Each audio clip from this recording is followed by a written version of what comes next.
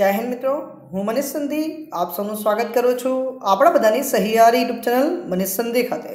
આજે આપણે daily current અફેર્સની અંદર ચર્ચા કરીશું ત્રીસ અને એકત્રીસ ડિસેમ્બરના મોસ્ટ આઈએમપી કરંટ અફેર્સ જે આપણી આવનારી પરીક્ષા માટે ખૂબ જ ઉપયોગી થઈ શકે એમ છે. તો ચાલો ચર્ચાને આગળ વધારીએ. ચર્ચાને આગળ વધારો એ પણ એ પહેલાં જે પણ મારા વાલા મિત્રો પ્રથમ વખત ચેનલ પર વીડિયો જોઈ રહ્યા છે, પહેલાં તો ચેનલને સબસ્ક્રાઇબ કરી લેજો અને બાજુમાં આવતા નોટિફિકેશન બેલ આઇકોનને પ્રેસ કરજો. જેથી હું જ્યારે વીડિયો અપલોડ કરું તો એની માહિતી આપના સુધી પહોંચતી રહે. વીડિયો પસંદ આવે તો લાઇક શેર એન્ડ સબસ્ક્રાઈબ અવશ્યથી કરજો. સૌથી પહેલાં, બહુ જ ઇમ્પોર્ટન્ટ ટોપિક જે છે તમારી આવનારી પરીક્ષા માટે એ છે POCSO act. The protection of children from sexual offences act જેનું પૂર્ણ નામ છે એક તો એ યાદ રાખવાનું તમારે. સૌથી મહત્વનો જે સુધારો અહીંયા જે છે, કેન્દ્રીય કેબિનેટની અંદર એક્સેપ્ટ કરવામાં આવ્યો છે એ છે કે પોક્સો એક્ટ જે છે, આપણે પહેલાં પહેલાં માત્ર ગર્લ્સ માટે, છોકરીઓ માટે વાત કરી હતી. હવે આ પોક્સો એક્ટની અંદર છોકરી અને છોકરો બંને છે. એટલે કે બોય હોય કે ગર્લ હોય, બંને માટે આ કાયદો લાગુ પડશે. આ મેન ફેરફાર જે છે, ખાસ યાદ રાખજો કે મેન ફેરફાર શું છે? હવે આ છોકરાઓ સાથે પણ જે જાતીય દુર્વ્યવહાર છે, એના માટે પણ આ પોક્સો એક લાગુ પડશે. અને એનાથી સંબંધિત જે કલમ છે પોક્સો એકની, કલમ નંબર નવ, એને વધારે કડક બનાવવામાં આવે છે. સાથે કેટલાક ફેરફાર પણ કરવામાં આવે છે. જે ચાઇલ્ડ પોર્નોગ્રાફી ગુના સામે પોક્સો એકની કલમ નંબર ચૌદ અને પંદરમાં પણ સુધારો કરવામાં આવે. યાદ રાખજો ચાઇલ્ડ પોર્નોગ્રાફી અત્યારે બહુ ચર્ચામાં છે, ઘણા બધા કારણોસર. તો આ એની જે પોક્સો એકની કલમ નંબર ચૌદ અને કલમ નંબર પંદર, એની અંદર સુધારો કરવામાં આવ્યો છે.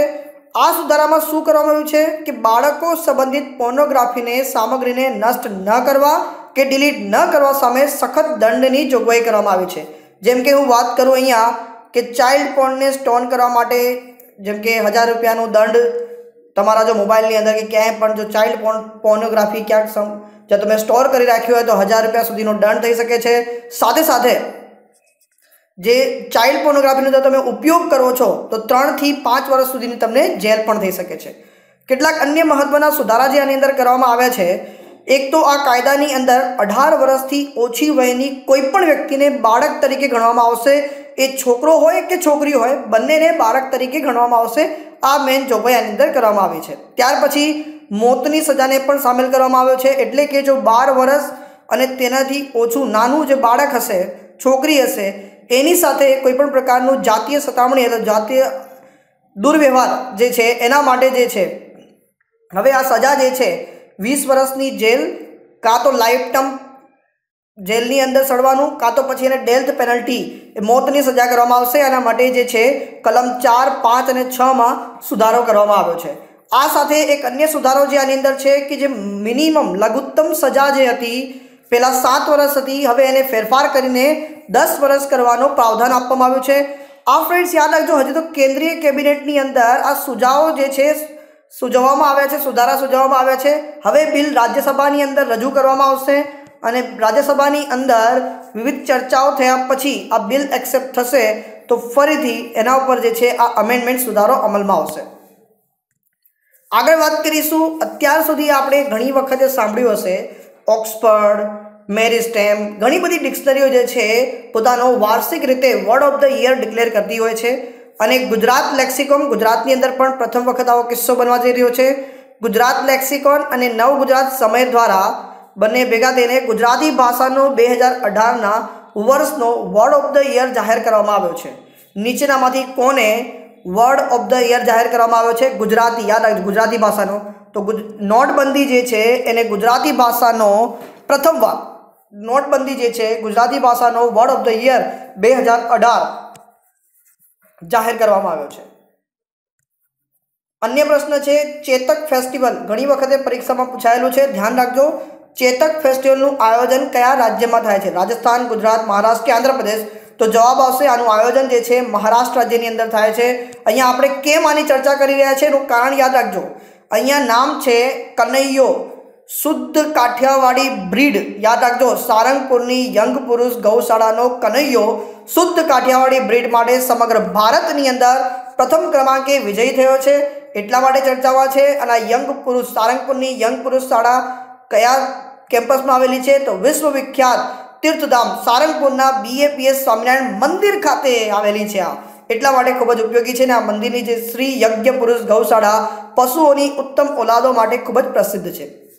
હવે આ ચેતક ફેસ્ટિવલનું આયોજન મહારાષ્ટ્રના ટુરિઝમ મંત્રાલય દ્વારા કરવામાં આવે છે અને મહારાષ્ટ્રના નંદુબાર જિલ્લાના સારંગખેડા ગામમાં, ગામના તાપી નદીને કિનારે છેલ્લા ત્રણસો વર્ષથી ચેતક ફેસ્ટિવલનું આયોજન થાય છે. હવે એક ઇમ્પોર્ટન્ટ છે, અત્યાર સુધી તમે જોયું છે અહીંયા મહિલા શબ્દ જ્યારે જ્યારે આવે છે ને ત્યારે પરીક્ષાની અંદર પ્રશ્ન પૂછાવે છે. મહિલા પોલીસ સ્વયંસેવક પહેલ અપનાવનાર પ્રથમ રાજ્ય કયું છે? મહિલા વોલન્ટિયર પોલીસ. એટલે વુમેન વોલન્ટિયર પોલીસ. પહેલ અપનાવનાર કયું રાજ્ય હતું? તો આ રાજ્ય છે હરિયાણા રાજ્ય. કયું છે? હરિયાણા રાજ્ય. કેમ આપણે ચર્ચા કરી રહ્યા છીએ કે હાલમાં જ કેન્દ્રીય કેબિનેટ દ્વારા વિવિધ રાજ્યો, એમાં ગુજરાત પણ છે, મધ્યપ્રદેશ છે, આંધ્રપ્રદેશ, બધાનું રિકમેન્ડેશન હતું કે મહિલા પોલીસ સ્વયંસેવક પહેલ શરૂ કરવામાં આવે અને એ પહેલને હવે પરમિશન પ્રાપ્ત થઈ ચૂકી છે. નેક્સ્ટ પ્રશ્ન છે, કયા રાજ્યની સરકારે પંચાયતી રાજ અને સ્થાનિક ચૂંટણીમાં લઘુત્તમ શૈક્ષણિક લાયકાતના માપદંડવાળા પૂર્વ સરકારના નિયમને તોડી નાખ્યો છે? તો હાલમાં ત્યાં સરકાર બદલાઈ છે, તો એ સરકારનું નામ છે રાજસ્થાન સરકાર. જેના મુખ્યમંત્રી કોણ બન્યા છે? અશોક ગેહલોતજી બન્યા છે અને સચિન પાયલોટજી એ ઉપ મુખ્યમંત્રી બન્યા છે. એ પણ આપણે યાદ રાખવાનું છે. અહીંયા વાત કરીએ કલ્યાણસિંહ ત્યાંના રાજ્યપાલ છે, રાજસ્થાનનું પાટનગર છે, જયપુર જે પિંક સિટી તરીકે ઓળખાય છે. હવે તમને યાદ હોય તો વસુંધરા રાજ્યની જ્યારે સરકાર હતી, ત્યારે બીજેપીની સરકાર હતી, ત્યારે અત્યારે કોંગ્રેસની સરકાર છે. તો એ વખતે આઠ ધોરણથી લગાવીને દસ પાસ લોકો જ જે છે પંચાયતી રાજ અને સ્થાનિક ચૂંટણીની અંદર ચૂંટણી લડી શકશે એ નિયમ બનાવવામાં આવ્યો હતો. હવે નિયમ તોડી નાખવામાં આવ્યો છે. આ સાથે અન્ય કેટલાક ફેરફારો પણ કરવામાં આવ્યા છે. જેમ કે ડૉક્ટર ભીમરાવ આંબેડકર યુનિવર્સિટી અને હરિદેવ જોશી પત્રકારત્વ યુનિવર્સિટી જે છે બંધ કરવામાં આવી હતી. હવે ગેહલોત સરકારે ફરી તેને શરૂ કરી છે. આગળ વાત કરીએ કે વૃદ્ધાવસ્થા પેન્શન યોજના જે છે એ પાંચસો રૂપિયાથી વધારીને સાતસો પચાસ રૂપિયા કરવાની મંજૂરી આપવામાં આવી છે. અને જે સાતસો પચાસ રૂપિયાની કેટેગરી હતી એને વધારીને એક હજાર રૂપિયા કરવાનું મંજૂરી મળી ચૂકી છે પ્રથમ રાજ્યની કેબિનેટની અંદર. યાદ રાખજો, રાજસ્થાન રાજ્યની પ્રથમ કેબિનેટ મળી અને આ કેટલાક ફેસલાઓ રિઝલ્ટ જે છે નિર્ણયો લેવામાં આવ્યા હતા. આ સિવાય આપણા વડાપ્રધાન નરેન્દ્ર મોદીજી વારાણસીની મુલાકાતે ગયા અને ત્યાં વારાણસીમાં એમણે અહીંયા ઇન્ટરનેશનલ રાઇસ રિસર્ચ ઇન્સ્ટિટ્યૂટના સાઉથ એશિયા રિજિયનલ પ્રાદેશિક સેન્ટર રિજિયનલ એટલે કે પ્રાદેશિક સેન્ટર કેમ્પસનું ઉદ્ઘાટન કર્યું. તો અહીંયા ભારતની અંદર ઇન્ટરનેશનલ રાઇસ રિસર્ચ ઇન્સ્ટિટ્યૂટનો પાયો નાખવામાં આવ્યો. કઈ જગ્યાએ? તો એનો પાયો નાખવામાં આવ્યો વારાણસી ખાતે. હવે ઇન્ટરનેશનલ રાઇસ રિસર્ચ ઇન્સ્ટિટ્યૂટની વાત કરીએ તો એની સ્થાપના ઓગણીસો સાહીઠની અંદર મુખ્ય મથક મનીલા ફિલિપાન્સ ખાતે. તમને યાદ હોય તો ઇન્ટરનેશનલ રાઇસ રિસર્ચ ઇન્સ્ટિટ્યૂટની મુલાકાત લેનારા પ્રથમ ભારતીયનું નામ શું છે? તો પ્રથમ ભારતીયનું નામ આવશે વડાપ્રધાન નરેન્દ્ર મોદીજી. બીજું, જ્યારે જ્યારે કોઈ ખેલાડીને નાઇટહુડની પદવીથી સન્માનિત કરવામાં આવે છે, તો એ ખેલાડીની આગળ પ્રિફિક્સ લાગે છે. એ ખેલાડીની આગળ માનમાં પછી સર લગાવવામાં આવે છે. જેમ કે સર વિવિયન રિચર્ડ્સ, રિચર્ડસન. હવે પ્રશ્ન ઊભો થાય છે કે બે હજાર અઢારમાં, એટલે કે બે હજાર ઓગણીસમાં સમજી લો, કયા ખેલાડીનું નાઇટહુડની ઉપાધિથી સન્માન કરવામાં આવશે એટલે કે બે હજાર અઢારમાં ઓલરેડી સન્માનિત થઈ ચૂક્યા છે તેઓ. તો એ છે એલિસ્ટર કુક, જે ઇંગ્લેન્ડના પૂર્વ કેપ્ટન રહી ચૂક્યા છે, પૂર્વ ખેલાડી. તેમણે તેત્રીસ સેન્ચુરી પણ કરેલી છે ટેસ્ટની અંદર. અને ખાસ ધ્યાન રાખજો, એમણે પોતાની પ્રથમ અને અંતિમ મેચની અંદર ટેસ્ટ સેન્ચુરી ફટકારી હતી. અને આ બંને ટેસ્ટ સેન્ચુરી એમણે ભારત વિરુદ્ધ કરી છે. પહેલી પણ અને અંતિમ તેત્રીસમાં નંબરની પણ. હવે ભારત તરફથી જો ખેલાડીઓની વાત કરું તો એ ખેલાડી છે lieutenant colonel sir Vijay Anand Gajapati Raju. જેમને વિજીના નામથી ઓળખવામાં આવતા હતા.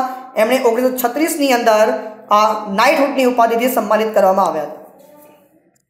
હવે એક ઇમ્પોર્ટન્ટ પ્રશ્ન આવી રહ્યો છે.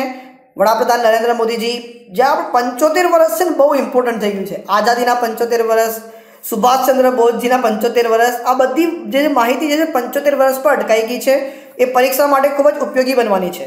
તો આંદાબાર નિકોબાર ટાપુ દ્વીપની વાત કરી તો સુભાષચંદ્ર બોઝે આંદાબાર નિકોબાર ટાપુની અંદર જ્યારે રાષ્ટ્રધ્વજ ફરકાવ્યો હતો, ત્યારે કયા વર્ષે ફરકાવ્યો હતો, જેના પંચોતેર વર્ષ પૂર્ણ થયા છે, તો જવાબ આવશે વર્ષ ઓગણીસો ને તેતાલીસમાં તેમણે રાષ્ટ્રધ્વજ ફરકાવ્યો હતો ભારતનો. હવે આ સંદર્ભમાં વડાપ્રધાન મોદીજીએ ત્રણ આઇસલેન્ડના નામ બદલીને બદલવામાં આવ્યા છે. તો આ ત્રણેયનું જે છે જોડકાના ફોર્મમાં આપણને યાદ હોવું જોઈએ. જેમ કે નેતાજી સુભાષચંદ્ર બોઝ કયા આઇસલેન્ડનું નામ રાખવામાં આવ્યું છે? સ્વરાજ ટાપુ કયાનું નામ રાખવામાં આવ્યું છે? શહીદ ટાપુ કયાનું નામ રાખવામાં આવ્યું છે? હવે અહીંયા યાદ રાખવા માટે ખાસ યાદ રાખજો. જેમ કે નેતાજી જે છે નેતાજી સુભાષચંદ્ર બોઝ અત્યારે ચર્ચામાં છે. એમની સુગંધ દરેક જગ્યાએ છે. એટલે આપણા ભારતના દરેક વાસીઓના કણકણની અંદર એમની સુગંધ વર્તાય છે. અને રોઝ એટલે કે ગુલાબ સુગંધ, ગુલાબની સુગંધ બહુ વધારે હોય છે. એટલે યાદ રાખજો, નેતાજી સુભાષચંદ્ર બોઝનું જે છે રોઝ આઇસલેન્ડ રાખવામાં આવ્યું છે. ત્યાર પછી વાત કરું ફ્રેન્ડ્સ આગળ વાત કરીશું ફ્રેન્ડ્સ અહીંયા. કે સ્વરાજ ટાપુ. એટલે એક તો થઈ ગયો રોજ આપણને. હવે સ્વરાજ કેવી રીતે યાદ રાખો હવે સ્વર્ગમાં જઈએ. હેવન એટલે સ્વર્ગ અને સ્વરાજ સ્વર્ગ એટલે સ્વર્ગ. એટલે ખાસ યાદ રાખજો, સ્વર્ગ અને હેવન. તો આ બંનેને ભેગા કરી દઈએ. સ્વર્ગ, સ્વરાજ ટાપુ એટલે કે હેવલોક આઇસલેન્ડનું નામ બદલીને સ્વરાજ ટાપુ રાખવામાં આવ્યું છે. અને શહીદ, જ્યારે આપણું કોઈ પણ શહીદ થઈ જાય, આપણે મરીને ઉપર ક્યાં જઈએ છીએ? આકાશ તરફ જઈએ છીએ. આકાશ કેવું હોય છે? નીલા રંગનું હોય છે. એટલે કે નીલ આઇસલેન્ડ. તો હવે આપણે જોઈએ કે રોઝ ટાપુ જે છે એનું નામ છે સુભાષચંદ્ર બોઝના ટાપુના નામથી ઓળખાશે. એવી રીતે નીલ ટાપુ જે છે એ શહીદ ટાપુના નામથી ઓળખાશે અને હેવલોક ટાપુ જે છે એ સ્વરાજ ટાપુના નામથી ઓળખાશે. હાલમાં જ હવે વાત કરીએ મન કી બાતની. કોઈ પણ મહિનો હોય અને એ મહિનાનો અંતિમ રવિવાર હોય ત્યારે વડાપ્રધાન નરેન્દ્ર મોદીજી મન કી બાત રેડિયો તરફથી કરે છે. તો વડાપ્રધાન નરેન્દ્ર મોદીએ આ રવિવારે, એટલે કે ત્રીસ ડિસેમ્બરના રોજ, પોતાના રેડિયો કાર્યક્રમની કેટલામી શ્રેણીમાં દેશવાસીઓને સંબોધન કર્યું હતું. તો ખાસ યાદ રાખજો, એકાવનમી શ્રેણી હતી. કઈ હતી આ? એકાવનમી શ્રેણી હતી. આ પહેલા નવેમ્બર મહિનામાં કયું હતું? પચાસમાં નંબરની હવે એક મહાનતમ ફિલ્મ મેકર ડાયરેક્ટર એમનું અવસાન થયું છે. તો ખાસ યાદ રાખજો, આપણે પરીક્ષામાં પ્રશ્ન પૂછાય છે. તો ફરીથી એક પ્રશ્ન બનાવીએ અહીંથી. મૃણાલ સેન કયા ક્ષેત્ર સાથે સંકળાયેલા હતા? તો મૃણાલ સેનજી જે છે, એ ફિલ્મ મેકર મૂવી નિર્માતા સાથે સંકળાયેલા હતા. ડાયરેક્ટરના, ડાયરેક્ટર હતા, એ પણ યાદ રાખજો. અને કઈ ભાષાના? બંગાળી ભાષા. તો દાદા સાહેબ ફાળકે એવોર્ડ વિજેતા ફિલ્મકાર મૃણાલ સેનજી એમણે દુનિયાને અલવિદા કહ્યું. પંચાણું વર્ષની તેમની ઉંમર હતી. ત્રીસ ડિસેમ્બરે તેમનું સદગતિ પામ્યા છે. પ્રખ્યાત ફિલ્મકાર મૃણાલ સેનની વાત કરીએ તો તેમણે ફિલ્મ ઇન્ડસ્ટ્રીના યોગદાન બદલ વર્ષ બે હજાર દાદા સાહેબ ફાળકે પુરસ્કાર પણ આપવામાં આવ્યો હતો અને બે હજાર પાંચમાં એમને પદ્મ વિભૂષણના પુરસ્કારથી પણ નવાજવામાં આવ્યા હતા. એમની પ્રથમ ફિલ્મ આપણે ખાસ યાદ રાખવાની છે. એમની પ્રથમ ફીચર ફિલ્મ હતી રાત ભોર શું બનાવી હતી? ત્યારબાદ તેઓએ નીલ આકાશ નીચે તેમજ વૈશ્ય શ્રવણ. ખાસ યાદ એમની ત્રીજી ફિલ્મ હતી વૈશ્ય શ્રવણ અથવા વૈશ્ય શ્રવણ જે ત્રીજી ફિલ્મ હતી અને તે દિવસે રવિન્દ્રનાથ ટાગોર સાહેબનું અવસાન પણ થયું હતું. એટલા માટે આ મૂવી બધાને યાદ છે અને આ મૂવીથી એમને આંતરરાષ્ટ્રીય ખ્યાતિ પ્રાપ્ત થઈ હતી. ભારતના પ્રથમ વખત, ભારતની અંદર પ્રથમ વખત આંતરરાષ્ટ્રીય સ્તરે ડ્રોન ઓલિમ્પિક્સનું આયોજન કઈ જગ્યાએ યોજાશે? તો આ આયોજન યોજાશે બેંગ્લોર ખાતે. અહીંયા બીજું યાદ રાખજો, એરો ઇન્ડિયા શો જે યોજાય છે આ એરો ઇન્ડિયા બે હજાર અઢારની આવૃત્તિનું આયોજન પણ બેંગ્લોર ખાતે થવાનું છે અને ત્યાં જ આંતરરાષ્ટ્રીય સ્તરે ડ્રોન ઓલિમ્પિક્સનું પણ આયોજન કરવામાં આવશે. ભારત જે છે ક્રિકેટ ટીમ અત્યારે ચર્ચામાં છે. એમણે મેલબોર્ન ટેસ્ટમાં ઓસ્ટ્રેલિયાને હરાવીને કેટલામી ટેસ્ટ મેચ જીતી લીધી છે ફ્રેન્ડ્સ. તો ઓસ્ટ્રેલિયાને હરાવીને ભારતે પોતાની એકસો પચાસમી ટેસ્ટ મેચ જીતી લીધી છે ફ્રેન્ડ્સ અહીંયા. તો એકસો પચાસમી જીત અને આવું કરનારી દુનિયાની માત્ર પાંચમી ટીમ છે. તો પ્રશ્ન ઊંધી રીતે પૂછાય. એકસો પચાસમી મેચ જીતનાર ભારતીય ટીમ દુનિયાની કયા નંબરની ટીમ છે? તો દુનિયાની પાંચમા નંબરની ટીમ છે. ભારત સિવાય ઓસ્ટ્રેલિયા, જેમણે ત્રણસો ને ચોર્યાસી, ઇંગ્લેન્ડ ત્રણસો ને ચોસઠ વિજય, વેસ્ટ ઇન્ડિઝ એકસો એકોતેર વિજય અને દક્ષિણ આફ્રિકા એકસો બાસઠના વિજય સાથે ભારતથી આગળ છે. હવે પ્રશ્ન ઊભો થાય કે ભારતે પ્રથમ ટેસ્ટ મેચ ક્યારે જીતી હતી? ઓગણીસો બાવનમાં ઇંગ્લેન્ડ વિરુદ્ધ ચેન્નઈમાં જીતી હતી. પચાસમી ટેસ્ટ જીત, ઓગણીસો ચોરાણુંમાં શ્રીલંકા વિરુદ્ધ લખનૌમાં સોમી ટેસ્ટ જીત, બે હજાર નવમાં શ્રીલંકા વિરુદ્ધ નાગપુરની અંદર, એકસો પચાસમી જીત, બે હજાર અઢારમાં ઓસ્ટ્રેલિયા વિરુદ્ધ મેલબોર્ન ખાતે થઈ હતી. એ પણ ખાસ આપણે યાદ રાખવાનું છે. અહીંયા આપણે પચાસમી અને સોમી જીત જે છે, એ શ્રીલંકા વિરુદ્ધ મેળવેલી છે, એ પણ યાદ રાખજો. આ સિવાય આપણા ફાસ્ટ બોલર જે આપણે અત્યાર સુધી કમી હતી, હવે અત્યારે જો છે, એમણે રેકોર્ડ પર રેકોર્ડ બનાવી રહી છે આપણા ફાસ્ટ બોલરની આખી એક ત્રિપુટી ભારતીય ફાસ્ટ બોલરની વાત કરીએ બે હજાર અઢારમાં દસ ટેસ્ટ મેચોની અંદર એકસો ઓગણ્યાસી ઓલમોસ્ટ એકસો એંસી વિકેટ લીધી અને આ સાથે તેમણે એશિયન રેકોર્ડ તોડી દીધો છે. પાકિસ્તાનની ટીમે એકસો અઠ્યાવીસ વિકેટ લીધી હતી. એક ઓગણીસો ને પંચાણુંમાં એટલે પાકિસ્તાનના ફાસ્ટ બોલરે ઓગણીસો પંચાણુંની અંદર એકસો અઠ્યાવીસ વિકેટ લીધી હતી. આ રેકોર્ડ તૂટી ગયો છે. આ સાથે આપણા રિષભ પંતજીની વાત કરીએ વિકેટ કીપર, કારણ કે ધોનીજીની જગ્યાએ છે એટલે વાત કરવી બને છે. આ સિરીઝમાં એમણે વીસ શિકાર કર્યા છે, પૂરા કર્યા અને એક સિરીઝમાં સૌથી વધુ શિકારનો જે છે ભારતીય રેકોર્ડ તોડી દીધો છે અને આ રેકોર્ડ પોતાના નામે કરી દીધો છે. હવે આંતરરાષ્ટ્રીય લેવલે વાત કરીએ તો આ રેકોર્ડ જે છે ઓસ્ટ્રેલિયાના બ્રેડ હેડિનના નામે છે, જેમણે ઓગણત્રીસ શિકાર કર્યા હતા બે હજાર તેરની એસિસમાં. આ સિવાય આપણે જસમીત બુમરાહ સાહેબને કેમ ભૂલી જઈએ? વર્ષો જૂનો રેકોર્ડ જે છે એમને તોડી નાખ્યો છે. જસમીત બુમરાહ ઓસ્ટ્રેલિયામાં એક ટેસ્ટમાં નવ વિકેટ ઝડપનાર પ્રથમ ભારતીય બોલર પણ બની ગયા છે. અને આ સાથે આપણે વિરાટ કોહલીને કેમ ભૂલી જઈએ? તો વિરાટ કોહલીએ બે હજાર અઢારમાં સૌથી વધુ તેરસો ને બાવીસ, તેરસો ને બાવીસ, one thousand three hundred twenty two test run કર્યા છે. અને એ માત્ર પહેલા ખેલાડી છે અને આ સિવાય માત્ર એકમાત્ર ખેલાડી છે જેમણે આ વર્ષે એક હજાર રન બનુ, બનાવ્યા હોય તો એનું બીજાનું નામ પણ યાદ રાખજો. આ સિવાય અન્ય ખેલાડી છે શ્રીલંકાના કુશલ મેન્ડિસજી. જસમિત બુમરાહ ઈશાંત શર્મા અને મોહમ્મદ શમી આ જોડી ખાસ યાદ રાખી લેજો, કારણ કે આમણે પણ એક કેલેન્ડર વર્ષમાં એકસો એકત્રીસ વિકેટ ઝડપીને એક રેકોર્ડ તોડ્યો છે. બહુ જ જૂનો રેકોર્ડ ઓગણીસો ચોર્યાસીમાં બનેલો રેકોર્ડ તોડી નાખ્યો છે. ઓગણીસો ચોર્યાસીમાં ઘટના બની હતી કે વેસ્ટ ઇન્ડિઝના ફાસ્ટ બોલર માર્સ હોલ્ડિંગ અને ગાર્નર આ ત્રણેય ત્રિપુટીએ ભેગા થઈને એકસો ત્રીસ વિકેટ લીધી હતી. આમ ઓગણીસો ચોર્યાસી પછી આ રેકોર્ડ તોડવામાં ભારતીય ફાસ્ટ બોલરો સક્ષમ રહ્યા છે, સફળ થયા છે. મધ્યપ્રદેશ સરકાર દ્વારા કયા વન્યજીવ અભયારણ્યને રાષ્ટ્રીય ઉદ્યાન જાહેર કરવામાં આવ્યો છે?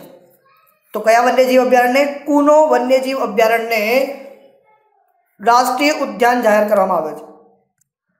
કેન્દ્ર સરકાર દ્વારા કયા રાજ્યના મુખ્ય પ્રધાનને ચેમ્પિયન ઓફ ચેન્જ પુરસ્કાર બે હજાર અઢારનો ચેમ્પિયન ઓફ ચેન્જ પુરસ્કારથી એનાયત કરવામાં આવ્યો છે? ફ્રેન્ડ્સ, ચેમ્પિયન્સ ઓફ ચેન્જ પુરસ્કાર જે છે, અલગ અલગ ફિલ્ડમાં દરેક ક્ષેત્રે આપવામાં આવે છે. પરંતુ એ પુરસ્કારમાં તમારે જે ખાસ ધ્યાન રાખવાનું છે, અહીંયા મુખ્યમંત્રી કારણ કે કોઈ પણ રાજ્યની અંદર જ્યારે પ્રયાસ થતા હોય, તેનું મુખ્ય પ્રધાન મહત્વનો હોય છે. તો એ કયા મુખ્યમંત્રીને, કયા રાજ્યના મુખ્યમંત્રીને ચેમ્પિયન ઓફ ચેન્જ પુરસ્કાર એનાયત કરવામાં આવ્યો છે? તો ચેમ્પિયન ઓફ ચેન્જ પુરસ્કાર આપવામાં આવ્યો છે મણિપુરના મુખ્યમંત્રીને. મણિપુરના મુખ્યમંત્રી કોણ છે? નોંગ થોમ્બમ બિરેન છે. મણિપુરનું પાટનગર છે. ઇમ્ફાલ રાજ્યપાલ કોણ છે? નજમા હપતુલ્લાજી છે. વર્લ્ડ સ્કોલર કપ બે હજાર અઢાર. બહુ જ ઇમ્પોર્ટન્ટ છે. માં જુનિયર ડિબેટ ચેમ્પિયનશિપ જીતનાર પ્રથમ ભારતીય યુવાન કોણ બન્યું છે? તો પ્રથમ ભારતીય યુવાન બન્યા છે આદિ સાઈ વિજય કરણજી આગળ વાત કરીએ છવ્વીસમાં ઇન્ટરનેશનલ કેમલ ફેસ્ટિવલ એટલે કે આંતરરાષ્ટ્રીય ઊંટ ઉત્સવની છવ્વીસમી આવૃત્તિ રાજસ્થાનના કયા શહેરમાં યોજવામાં આવશે? તો રાજસ્થાનના બિકાનેરમાં તેનું આયોજન કરવામાં આવશે. આગળ વાત કરીએ સ્વચ્છ સર્વેક્ષણ. બે હજાર અઢારની રેન્કિંગમાં સોલિડ વેસ્ટ મેનેજમેન્ટનું જે કેટેગરી છે, આ કેટેગરીની અંદર કયા શહેરના, શહેરને શ્રેષ્ઠ કેપિટલ સિટીનો પુરસ્કાર એનાયત કરવામાં આવ્યો છે? તો શ્રેષ્ઠ કેપિટલ સિટીનો એવોર્ડ એનાયત કરવામાં આવ્યો છે હૈદરાબાદ. જ્યારે પણ હૈદરાબાદ આવે, એટલે કે તેલંગાણા યાદ આવે, તેલંગાણાના અત્યારે મુખ્યમંત્રી કેસીઆર કે ચંદ્રબાબુ નાયડુ છે. તેઓ ટીઆરએસ તેલુગુ રાષ્ટ્રીય સમિતિ જે છે એના અધ્યક્ષ પણ છે અને એમની એ પાર્ટી જે છે વિજયતા બની હતી. ભારતીય રેલવે, આ સિવાય વાત કરીએ અમરાવતી. અમરાવતી જે છે એ આંધ્રપ્રદેશનું પાટનગર અને દેશની પ્રથમ જસ્ટિસ સિટી એ પણ અમરાવતી ખાતે બનવાની છે. એ પણ યાદ રાખજો. અને દેશની પચીસમા નંબરની હાઈકોર્ટ એ આંધ્રપ્રદેશ રાજ્યની કઈ જગ્યાએ બનશે? અમરાવતી ખાતે બનવાની છે. ભારતીય રેલવે ટ્રેનોની અંદર જે ભૂલો થાય છે, એને તપાસ કરવા માટે એક આર્ટિફિશિયલ ઇન્ટેલિજન્સ આધારિત સંચાલિત રોબોટ વિકસાવ્યું છે. હવે પ્રશ્ન ઊભો થાય છે કે આ રોબોટનું નામ શું છે? તો રોબોટનું નામ રાખવામાં આવ્યું છે ઉસ્તાદ. હવે પૂછે કે આ ઉસ્તાદનું પૂર્ણ નામ શું છે? તો યાદ રાખજો under gear survey under gear surveillance through the artificial intelligence assisted droid and droid શું છે? ડ્રોઈડ બારમી ગ્લોબલ વૈશ્વિક હેલ્થ કેર સમિટ, સ્વાસ્થ્ય સંભાળ સમિટ બે હજાર અઢારનું સ્થળ કયું છે? તેનું સ્થળ છે ફ્રેન્ડ્સ મુંબઈ. કયું છે? મુંબઈ. વડાપ્રધાન નરેન્દ્ર મોદીજીએ કઈ જગ્યાએ ઇન્ટરનેશનલ રાઇસ રિસર્ચ ઇન્સ્ટિટ્યૂટના સાઉથ એશિયા રિજનલ સેન્ટરના કેમ્પસનું ઉદ્ઘાટન કર્યું? તેનું ઉદ્ઘાટન કઈ જગ્યાએ કરવામાં આવ્યું ફ્રેન્ડ્સ આનો જવાબ આપણે ઓલરેડી આગળ જોઈ લીધો છે. તમારે આ પ્રશ્નનો જવાબ મને કમેન્ટ બોક્સમાં લખીને જણાવવાનો છે. જેથી મને ખ્યાલ આવે કે તમે વિડીયોને શરૂથી લઈને અંત સુધી સિરિયસલી જોવો છો. જ્યાં સુધી વીડિયો ફ્રેન્ડ્સ તમે કોઈ પણ વીડિયો, ગમે ત્યાં વીડિયો જઈને જુઓ ફ્રેન્ડ્સ પણ એક વિનંતી તમને રહેશે ફ્રેન્ડ્સ કોઈ પણ વીડિયો જ્યારે શરૂ કરો ને તેને પૂર્ણતા સુધી જોવાનો રાખો અદરવાઇઝ ન જુઓ. કારણ કે કોઈ પણ પ્રકારનું નોલેજ અડધું નોલેજ છે ને, એ તમારે ક્યારેય કામ લાગવાનું નથી.